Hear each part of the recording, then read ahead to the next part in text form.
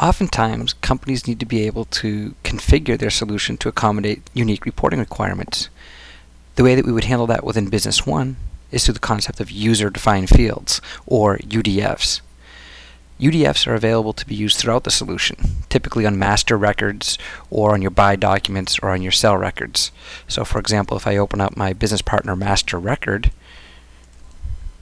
and call up one of my vendors, or in this case a customer Earthshaker, these are all user-defined fields that are on the right-hand side of the window.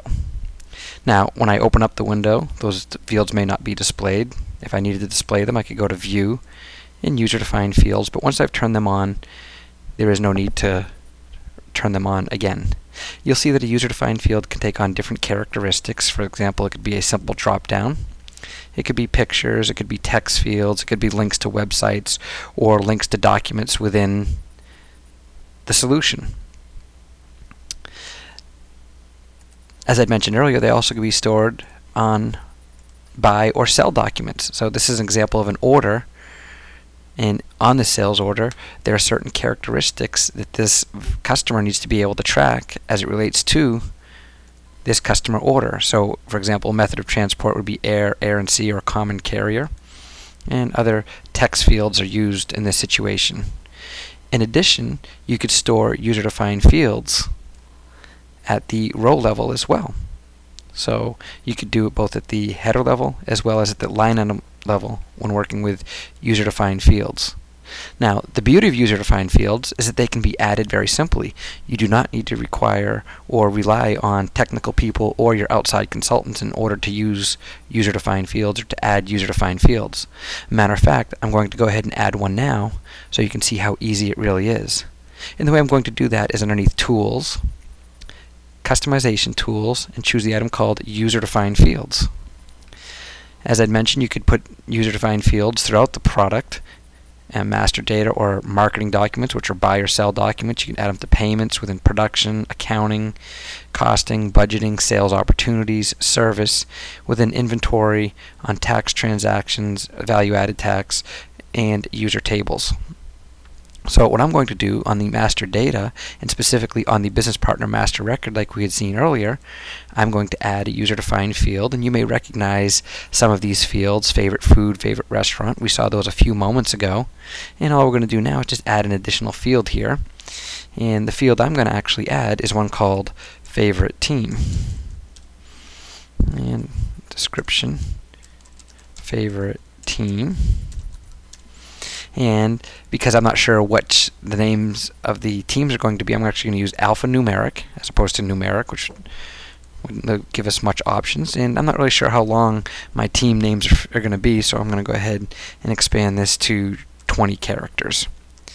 It's going to maintain a regular structure, but note I could do addresses, telephone numbers, or text fields as well. Now, when I'm recording my favorite team, I want to make sure that there's no typing errors or that there's consistent typing throughout the reporting so that when I when I do my reports, uh, for example, the Patriots is not spelled NE Pats or just Patriots, I want to make sure it's going to be spelled consistently. So I'm going to add a P and we'll just call this the Patriots, for example. And then I'll do, for example, the J, and we'll just call this the Jets. And just continuing here with my football theme, I'm also going to use the Bills. If I wanted to, I could set a default value for the field. I could also make this field mandatory. But for now, I'm just going to simply add this field. And just telling me that the data database structure is going to be modified. Do you want to continue? Yes, so it's kind of a safety. And now if I go back into my business partner master record, at the bottom of the window as I call up my vendor, you can see that we've already added our favorite team. And in this case it will be the Patriots. And I can go ahead and update this. And I've now saved that change. Now, let's say that because this is a pretty important field, I would like for this to show up more in the uh, top portion of this window. I could do so. And the way I would do that is, again, through Tools, customization tools. I'm going to choose the item called settings. And what I'm going to do is, for example, there's my favorite team field, and I could label that. Um, let's label that the number 5, for example, and go ahead and click OK. And you'll now see that my favorite team field that I just added is now the fifth field on my display. So you also have the flexibility of moving those fields around within this presentation as well. The other thing you could do is also limit the number of fields. For example, maybe in this case this is my general category, but I could also uh, add certain fields from a demo perspective, and this is just one particular field, or for this customer is looking for these certain fields. So as I go through, I can have different categories, and if I want, I could display all fields within here as well. So you can see how it gets pretty busy there. So we want to make sure we give you the flexibility to be able to uh, limit the fields it would show at any given time. So that was a quick overview on user-defined fields. And again, remember that they can be used to configure the solution to accomplish or address specific reporting requirements. I'd also like to recommend that you view the video on UDTs or user-defined tables. And also there's another session on how do you use user-defined fields in conjunction with drag and relate.